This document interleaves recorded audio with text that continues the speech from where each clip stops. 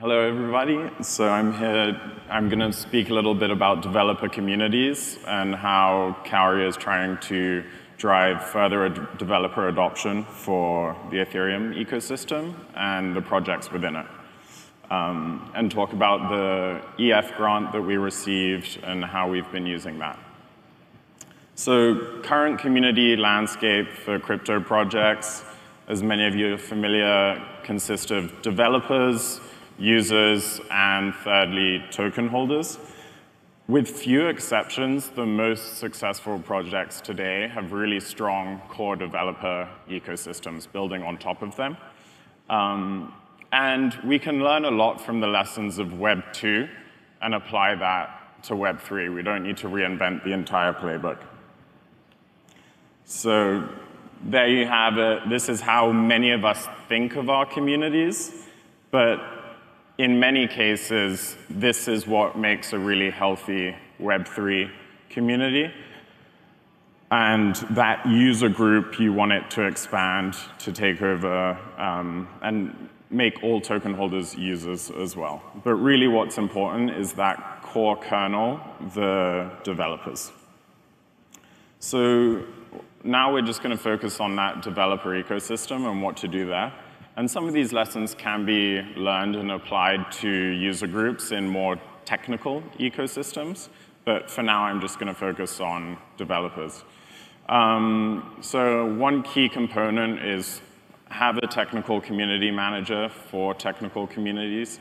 Uh, it's really important that people can get into the code, answer questions, uh, come up with creative demos, really inspire your, uh, your users, your developers. Um, a lot of times in this ecosystem, we see pre-product, people investing in marketing and big pushes. Um, it's way more effective if people can actually get into the code or play around with a test net or an SDK. And the best teams, so this is based off of 30 plus interviews with um, developer community managers and developer relations, both in Web 2 and Web 3.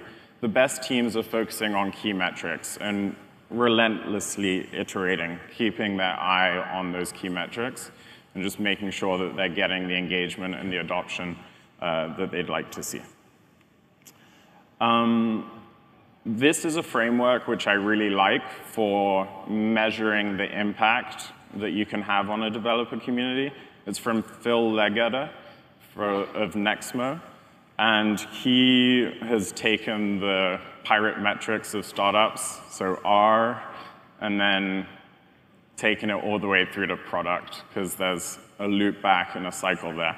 And it starts with awareness. So why should I use your platform? What is it? Um, just knowing that it's out there. Then second, acquisition. It's not good enough just to know that it's out there, like I need a relationship with you as a developer. Either it's an NPM install, uh, which is a little bit harder to track with metrics, but you can use email um, strategies, these types of things. Having an engaged um, platform where people can ask questions, where people can interact with your content, get in touch with you. Uh, and what's really important is that this cycle flows all the way down into product. So if your community is not really involved in the decisions that you're making in product and potentially even contributing to the code base, um, you're missing a big opportunity there.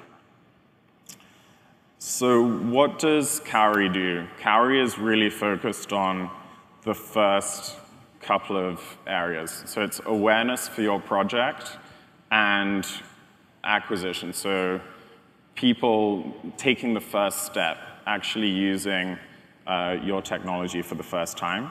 And our main focus is the Ethereum ecosystem and um, the, the tools, libraries, and frameworks within the ecosystem.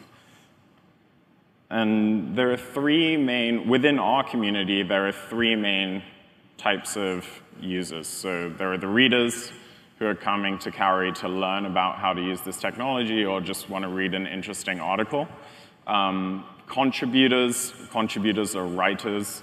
Uh, they are a rare breed. They're hard to come by, but um, having a really good writer can make a huge difference for your project. And then communities. Communities keep content up to date. They interact with it. They engage with it. Uh, they point out gaps. Um, and contributors and communities is an area which we're really focused on, and I'll share a bit more about this in a second.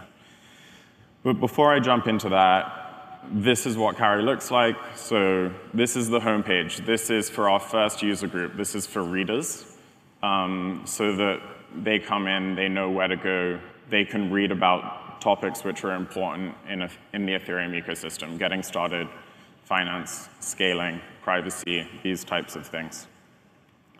Then um, essentially, or an essential component is you need to be good at the single player game. We spent a lot of time catering towards writers so that they can write in Markdown, have content, have clear attribution. Uh, so this was written by Hader.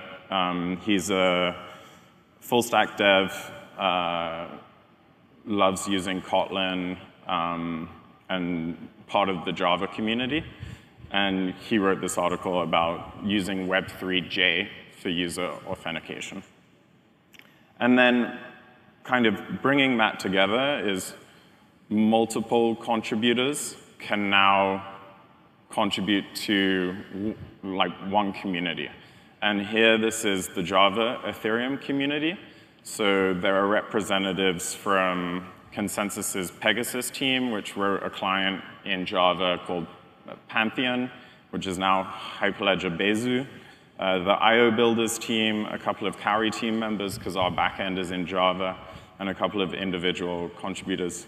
Um, and importantly, Conor Svensson, who uh, is the creator of the Web3 library. But what's interesting about communities is um, many people can have the permissions to keep content up to date. Um, and this is where we've been using a lot of the grant funding. So, uh, and, and the key to this is rewarding writers. So to, to get good content out there where there are gaps within the, the ecosystem. So grants right now are coming from the Ethereum Foundation um, and ConsenSys grants. This is sponsored a lot of the getting started materials. Um, many of the tools, libraries, and frameworks have been written about, and then also working on keeping like the Ethereum wiki up to date, Solidity docs, various different docs. Um, one area which Kauri is also moving into if you want to get in touch is commission content. So if your project needs better tutorials, uh, help your developer community understand how to use you, so that why, that top of the funnel, um, let us know. And then getting involved, the next communities which we're launching are Getting Started, which will come out this week. Uh, this has some really exciting content, including a couple of tutorials on how to use a new um, web IDE, which means you don't need to set up your whole tool chain. Uh, and it, it's just some interesting templates to give developers which are new to the Ethereum ecosystem that first aha moment. And you'll hear more about that experience in other talks. So Albert's talk, Aya's talk, um, the Superblocks team has been doing some great work there. Web3 onboarding is another one. ETH2, as we the contract gets deployed and get closer to a robust uh, beacon chain in the beginning of next year, we'll have materials on how do you actually um, connect with the network, how do you uh, send funds to the staking contract, that kind of stuff. And then L2 scaling, which is a really important topic, and there's been a ton of research over the past few years, but I think we're now moving from research into actual um, production use cases.